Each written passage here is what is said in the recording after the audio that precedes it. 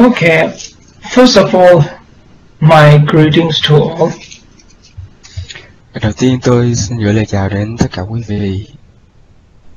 So, today maybe I will talk more about the compassion. Hôm nay tôi sẽ nói uh, sâu rộng hơn về tâm từ bi. So, generally today's topic I thought to talk about the compassion and the importance of the love. Uh, chủ yếu hôm nay tôi muốn nói về tâm từ bi và tầm quan trọng của tình yêu thương trong cuộc sống này. Because the, this is the one of the very complicated emotion when you talk about the love. When you talk about the compassion, lots of the people can get a misunderstanding of the what the, what is the real compassion, what is the real love. Bởi vì tình yêu thương và lòng từ bi đó là một cái dạng cảm xúc rất là phức tạp. Và đôi khi chúng ta à, gặp phải tình huống mà mình lại nhầm lẫn những cảm xúc với nhau và mình thật sự không hiểu rõ về chúng. À, cho nên là tôi muốn nói rõ hơn về à, tâm từ bi và lòng yêu thương. So from Buddhism point what does that actually the compassion means? From Buddhism point what does the actually love means? Thế thì theo đạo Phật từ là như thế nào? À, và tình yêu thương là, là như thế nào? Sometimes that the sometimes that the for us when we become the too self-centered so also that we makes the everything is very complicated. Even the love we make it very complicated. Even the relation we make it very complicated. Ờ, đối với chúng ta à, đôi khi chúng ta sống à, quá nghĩ cho bản thân mình thì mình sẽ khiến cho à, cái tình yêu thương của chính bản thân mình trở nên phức tạp. À, và mình sẽ khiến cho những cái mối quan hệ à, xung quanh mình ở trong cuộc sống này cũng càng trở nên phức tạp theo. So generally, from Buddhism point of view, love and compassion always have to go together. Because otherwise, if you feel compassion, only you try to, only you are loving someone, and the, without the compassion, that love sometimes it can become a very unpure love. Then slowly you will start with the possession idea. Ờ, à, theo quan điểm của đạo Phật thì tình yêu thương và à, lòng từ bi lúc nào cũng cần phải được phải đi chung và gắn kết với nhau. À, bởi vì đôi lúc chúng ta à, có được tình yêu thương đối với một ai đó nhưng mà chúng ta lại không có cái tâm từ bi à, ở trong đó thì cái tình yêu thương đó nó dần sẽ trở nên một cái tình yêu thương nó không còn à, trong sáng nữa. Và cái tình yêu thương đó nó sẽ mang cái cái tâm chiếm hữu à, ở trong đó. So compassion is something like that. The only when you comes when you understand the other's suffering, when you know the other's difficulty, then the compassion will come. Mostly people generate the love toward the someone because of the seeing the positive qualities, because of the seeing the beauties of the others, because of the seeing the good things of the other, you generate the love. That's also fine.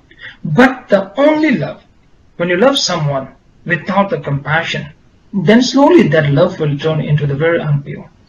Then slowly that love will turn into unpure, and slowly you will start to uh, bring that possession idea toward that person. Khi nói về lòng từ bi có nghĩa là chúng ta hiểu biết về à, những đau khổ và những khó khăn của người đó. Và chúng ta thực sự cảm nhận được những đau khổ và những khó khăn của người đó. Từ đó mình mới có thể có được cái lòng từ bi uh, mình uh, đối với ờ, người đó. Uh, còn nói với tình yêu thương À, thông thường ở trong cuộc sống khi chúng ta nói đến tình yêu thương là chúng ta nói về những cái phẩm hạnh tốt những cái đức tính tốt của một người một, một người khác. Rồi chúng ta nói đến vẻ đẹp của người đó. Và chúng ta yêu thương vì những đức tính tốt và những vẻ đẹp đó. Đến nhưng mà ở trong cái tình yêu thương đó nếu không có tâm từ bi nó không có lòng từ bi thì dần dần cái tình yêu thương đó nó sẽ nảy sinh cái ý muốn chiếm hữu khi mà trong tình yêu thương đó có cái ý muốn chiếm hữu thì nó không còn là một cái tình yêu thương thật sự trong sáng nữa some person when they sees the good flower will start to like that flower some person, what will they do? They will cut the flower. They will pluck the flower. When the some person, when they see a good flower, when they like that flower, they will try to pour the more water, try to take care of that flower. They're the two type of the attitudes, two type of the ways how they, when they like the flower. Đối với um, uh, một người thấy một cái hoa đẹp thì uh, khi mà nhìn thấy một cái hoa đẹp đó thì có người họ sẽ đến họ cắt cái hoa đó họ ngắt cái hoa đó để để đem về mình uh, tự trang trí cho nhà mình hoặc là cho phòng mình làm khiến cho cái cái xung quanh môi trường xung quanh của mình đẹp hơn. Ừ, nhưng mà còn người thứ hai khi mà thấy cái một cái hoa đẹp thì tưới nước thêm cho hoa uh, và chăm sóc cho hoa để cho bông hoa đó nó nó vẫn tiếp tục nó nó nó sống và nó uh, nó mang vẻ đẹp của nó. Thì khi mà thấy một cái hoa đẹp thì từ cái ý muốn ý thích đó nó sẽ có những cái hành động khác nhau tùy theo uh, nhiều người khác nhau. That will bring the possession attitude. When someone likes the flower suddenly they want to possess that flower. When the someone like the flower someone will take care of the flower. Two things will come. Only the, when you're thinking of the taking the caring of the flower, that will let the flower grow.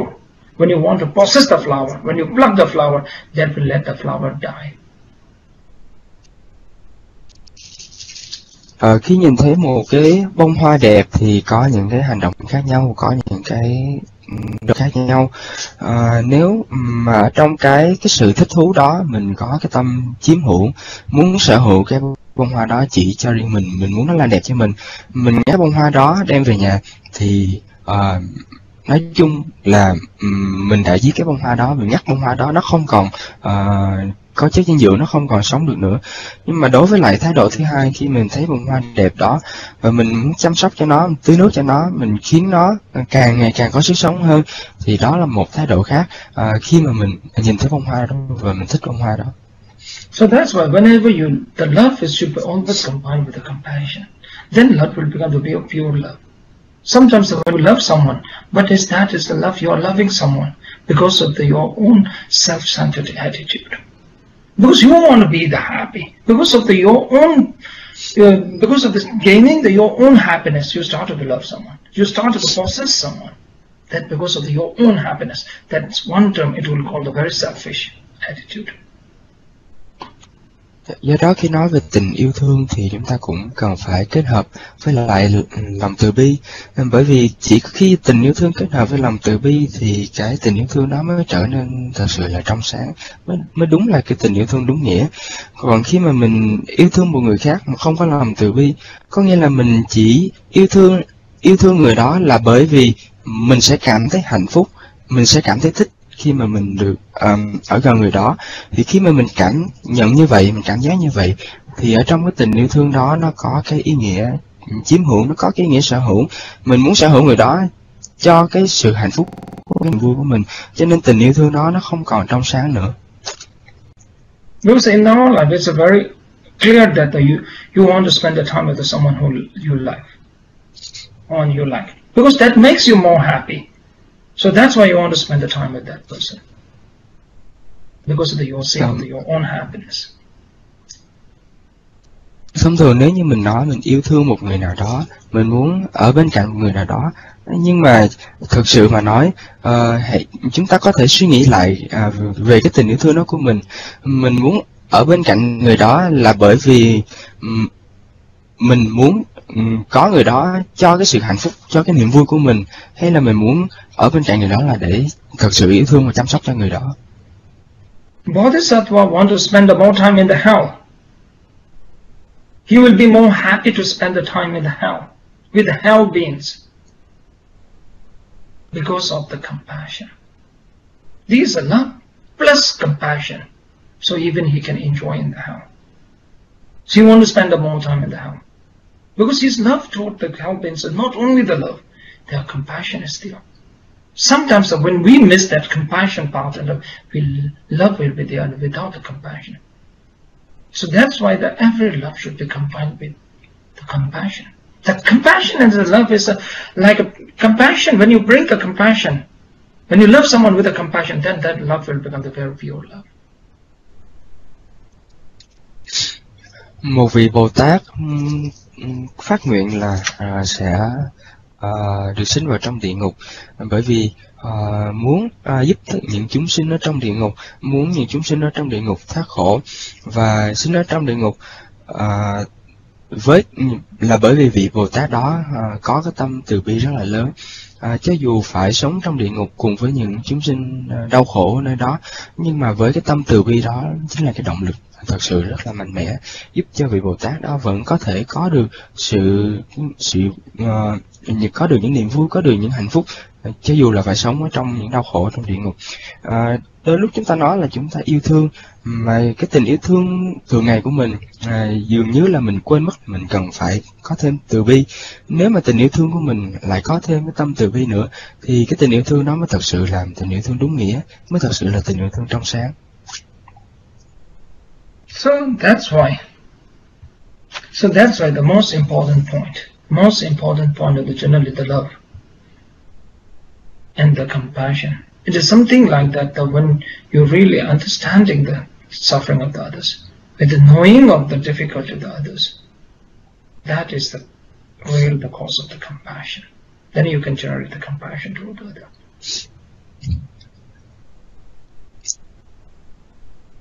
Dạ, nhưng ở đây điều quan trọng mà để chúng ta có thể phát được mình, mình tâm từ bi đối với người khác để mình có được tâm từ bi đối với người khác à, thì cái cái nguyên nhân chính đó là mình cần phải thấu được nỗi đau khổ của người khác và mình cần phải cảm nhận được cái nỗi đau khổ mình hiểu biết về những nỗi đau khổ về những khó khăn về những um, uh, thử thách của người đó thì khi mà hiểu được về đau khổ của người khác thì khi đó mình mới có thể mình phát được tâm từ bi đối với những người đó One small boy went to the ice cream shop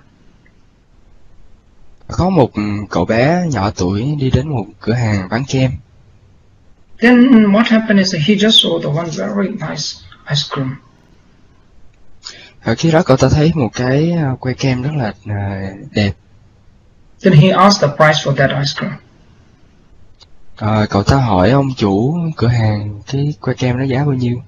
Then that the person told him that the, the waiter told him the waiter told him that it cost three dollar.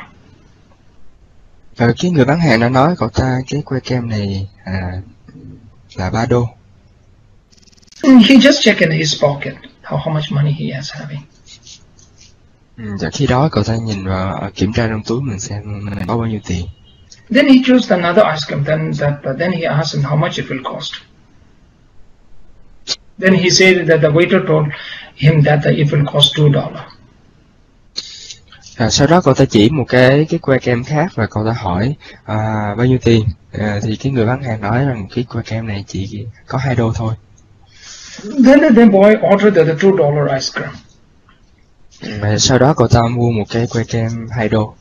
Then the, waiter told that small kid that, uh, oh, now I understand. Because you're ordering the two dollars ice cream because you have not enough money to buy the three dollars ice cream. Ừ, người bán hàng lúc này mới nói với cậu ta rằng ồ tôi đã hiểu tại sao cậu mua cái que kem chỉ hai đô thôi à, chắc là vì không đủ tiền The small kid just smiled.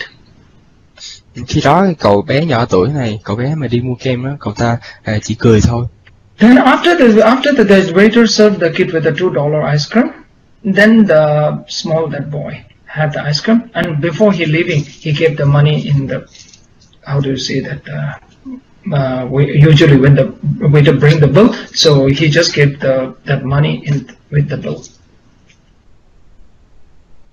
à, khi mà cậu ta à, mua que kem xong thì cậu ta à, cậu ta trả tiền à, thì khi mà trả à, trả tiền hai đô xong mà kèm theo với lại cái cái cái cái hóa đơn à, kem thì cậu ta lại đưa thêm một đô nữa He left the three dollars. The kid cậu left để three dollars, two dollars for the ice cream, and the one dollar tip for the waiter. Và cậu ta để lại à, hai đô à, là tiền của que kem và một đô là tiền à, tiền tiếp cho à, cái người bán hàng. So this is called the understanding for the others. Normally people, when you go to the ice cream shop, we will just only try to buy the what we like. We will not think the for the others. That what normally what we do it. Sometimes this type of attitude makes the, our relation with the friends, make our relation with the colleagues more difficult. Because you are too become too selfish. Things only for the sake of self happiness. Dạ, cậu ta nghĩ cậu ta làm như vậy là bởi vì cậu ta có có suy nghĩ đến người khác thông thường chúng ta uh, khi mà chúng ta mua một món đồ gì thì mình chỉ uh, nghĩ cho mình thôi mình không nghĩ cho người khác. Và với cái nếu chúng ta sống với thái độ như vậy uh, nếu chỉ nghĩ cho bản thân mình thôi mà không nghĩ cho người khác thì sẽ rất là khó khăn ở trong những mối quan hệ cho dù là ở gia đình hoặc là ở uh, nơi làm việc uh, đối với các đồng nghiệp của mình.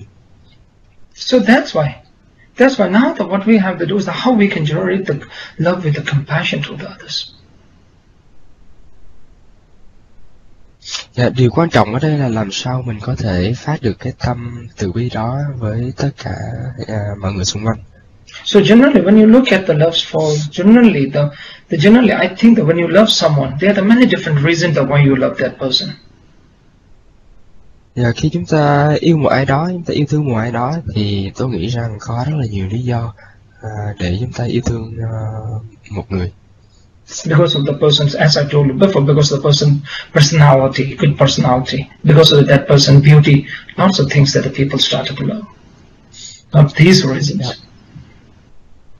Yeah, bởi vì uh, người đó, bởi vì người đó có những đức tính mà mình thích à, bởi vì người đó đẹp và cũng có rất là nhiều nguyên nhân khác à, khiến cho mình yêu thương một người.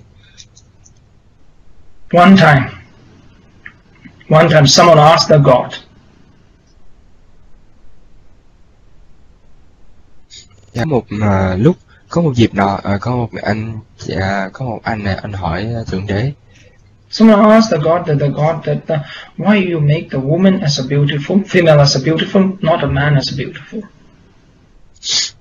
Dạ anh ta hỏi ờ, thượng đế anh hỏi Chúa trời đó là tại sao ờ, lại tạo ra cái người phụ nữ xinh đẹp hơn uh, người đàn ông.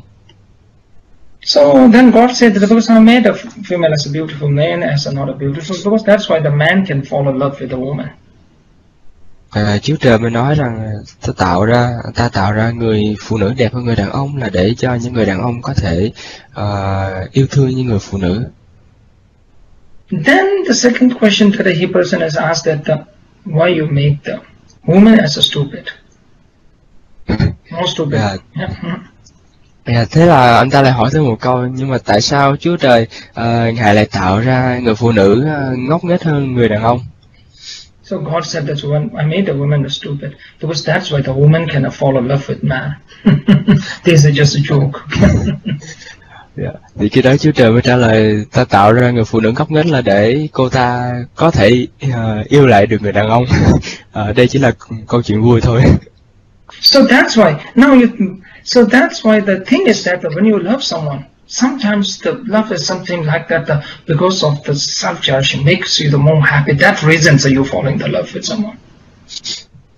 Thì khi chúng ta uh, yêu thương một ai đó thì thông thường là mình mình nghĩ về cái cái hạnh phúc của mình, mình nghĩ về niềm vui của mình bởi vì yêu thương người đó sẽ khiến mình vui khiến mình hạnh phúc mình nghĩ cho bản thân mình cho nên mình mới yêu người người đó So generally, if you look from the male and the female, just comparing to generally the males are more self-centered, more self, self, more selfish, more comparing to the general point. Okay.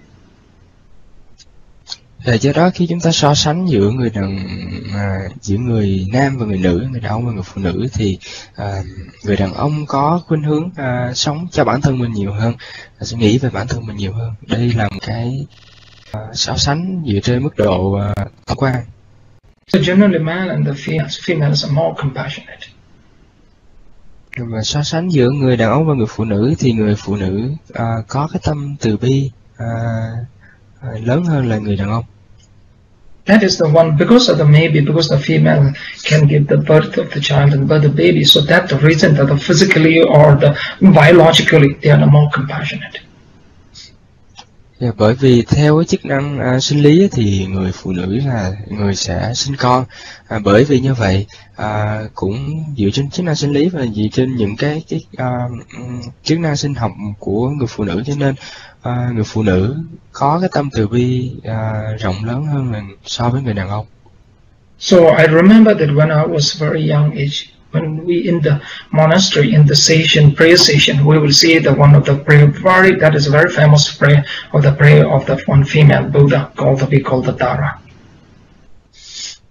Dạ, à, khi mà tôi còn nhỏ thì tôi còn nhớ là ở trong một uh, tu viện chúng tôi đang cầu nguyện à, với một buổi lễ cầu nguyện đối với là một vị Phật à, là phụ nữ đó là một vị Phật mẫu tên là Tara hay là So then that time the when uh, when we are the, attending the puja, one of the senior monk that he he senior monk he told us that that time I was very young age. The senior monk told us the one thing that the, we have to say this prayer, the Tara, the female Buddha prayer, because that the female Buddha when we pray for the female Buddha, he's compassionate. His compassion is a more strong, more strong being as a female. So he's more compassionate. So when we pray and the request for the blessing, it will be the more higher, uh, higher, I mean, the possibilities to receive the blessing faster because of the being as a female, more compassionate. So I think his point is very right. His so many his point is very right. Yeah. Dạ, khi đó có một thầy ờ, lớn ở trong chùa có nói với tôi rằng à, chúng ta cầu nguyện ngày hôm nay cầu nguyện đó là một vị Phật mẫu, một vị Phật nhưng mà à, với là thân là người nữ.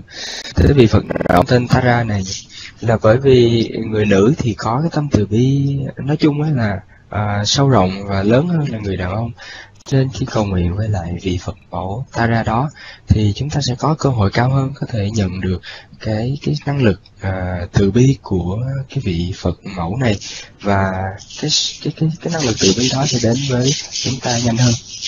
Ừ, tôi nghĩ uh, cái điều mà vị thầy đã nói cũng rất là đúng. So, so when you look at the mother's love, that is one very pure love. Mother love is a love with the combined with the compassion compassion to all the kids. Và khi mà chúng ta hãy xem lại uh, cái tình yêu thương của người mẹ dành cho đứa con đó, thì uh, cái tình yêu thương đó là một tình yêu thương hoàn toàn uh, trong sáng. Uh. So today is the day with the 14th February day. So I wish that uh, everyone who really want to celebrate the day, really you have to understand to generate that type of the love with the compassion. Now, when you're celebrating the day, especially 14th, I know that many you will go for date and uh, eat the some food. That's not a big thing. You can do that anytime. But when you really want to celebrate the day, try to generate the love with the compassion. Make today the 14th Feb, day the, four, uh, the 14th Feb, February day with the love with the compassion day. Hôm nay là ngày 14 tháng 2 là một ngày lễ của yêu thương nên tôi cũng à, nhân dịp này tôi cũng muốn gửi lời nhắn đến tất cả mọi người. À, chúng ta hãy nhân ngày lễ của yêu thương và chúng ta hãy suy nghĩ cho thật kỹ về tình yêu thương. Chúng ta nên phát chúng ta nên có cái ngay cả cái tâm từ bi ở trong cái tình yêu thương của mình với cái sự thấu hiểu à, thật sự sâu sắc đối với những người mà mình yêu thương. À, nếu như trong ngày lễ này ừ, chúng ta chỉ đi hẹn hò hoặc là chúng ta chỉ đi à, ăn uống với nhau thì hẹn hò và ăn uống thì ngày nào mình cũng làm được nhưng mà hôm nay là một ngày lễ đặc biệt kỷ niệm ngày lễ của tình yêu à, của tình yêu thương thì chúng ta hãy à, thật sự à, có một cái tình yêu thương thật sự trong sáng đối với những người mà mình yêu thương So generate not only the love, generate the compassion. Love and compassion. Make your love as a pure love, not the evil love. So that's why today when you want for the celebrate the day, not only go for the date with the out and go some restaurant and have the dinner or whatever. That's not a big thing. Try to generate the compassion. Try to generate the love with the compassion towards your partner, towards your family, towards you, towards the whole of the sentience. Then the today day will be very different for you. Going for the dinner, you always do that. There's nothing special in that.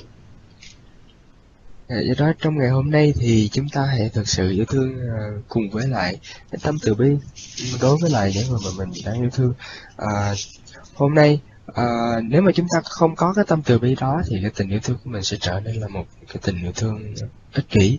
À, cho nên chúng ta hãy nhớ đến tâm từ bi mỗi khi chúng ta yêu thương một ai đó.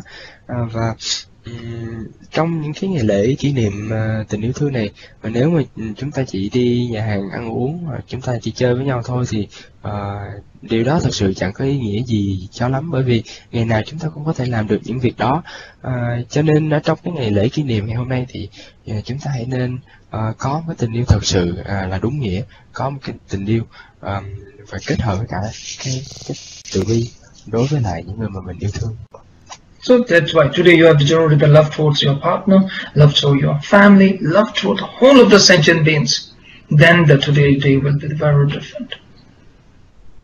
À, hôm nay nếu mà chúng ta à, có được một cái tình yêu thật sự đúng nghĩa đối với lại những người mình yêu thương, đối với gia đình à, và nói sâu rộng hơn nữa đó là với tất cả mọi người thì nếu mình làm được như vậy thì ngày hôm nay mình có được một cái ngày lễ kỷ niệm tình yêu thật sự có ý nghĩa. So that's why today the February 14, I will not say this a Valentine Day. I will call it the Universal Love Day. So generate the love toward whole the universe. À, do đó ngày 14 tháng 2 hôm nay thì à, tôi sẽ không gọi đó là ngày lễ tình nhân mà tôi sẽ gọi đó là ngày lễ quốc tế yêu thương à, để tất cả mọi người chúng ta đều có thể yêu thương một cách đúng nghĩa trong ngày hôm nay. So you make a day today is very meaningful. Yeah, và chúng ta hãy à, làm cho cái ngày hôm nay của chúng ta trở nên thật sự có ý nghĩa. So Buddha's the main teaching of the Buddhists is love and compassion. That's the Buddha's real Buddhism's the main message Buddha he want to give to the whole the sentient beings. Và đó cũng chính là cái à, lời à, lời dạy của Đức Phật, đó là lời dạy ờ, rốt ráo, lời dạy cốt yếu của Đức Phật muốn dành cho tất cả mọi chúng ta. Đó là lời dạy về tình yêu thương và ờ, lòng từ bi. Sometimes our love is a very biased, very partial. We love only the few peoples. We cannot love the whole the sentient beings. We cannot love the whole, um, but the peoples, whole the peoples. So that's why the, today you try to generate the love and compassion toward the whole the universe. Đôi lúc tình yêu thương của chúng ta trở nên rất là thiên vị. Mình chỉ uh, yêu thương những người nào mà mình thích thôi. Mình không thể nào yêu thương hết tất cả mọi người trên đời này. Cho nên hôm nay chúng ta hãy uh, chúng ta hãy cố gắng để mình có thể có được một cái tình yêu thương rộng lớn hơn. Mình hãy cố gắng để mình có được một tình yêu thương với tất cả mọi người xung quanh mình và tất cả mọi người trên thế giới. Yeah. Okay. Then, thank you. Wishing you a very happy Universal Love Day. Và tôi xin cảm ơn tất cả quý vị và chúc quý vị ngày có được một ngày lễ quốc tế yêu thương thật là à, có ý nghĩa. Okay. Thank you very much. À, xin cảm ơn. Yeah.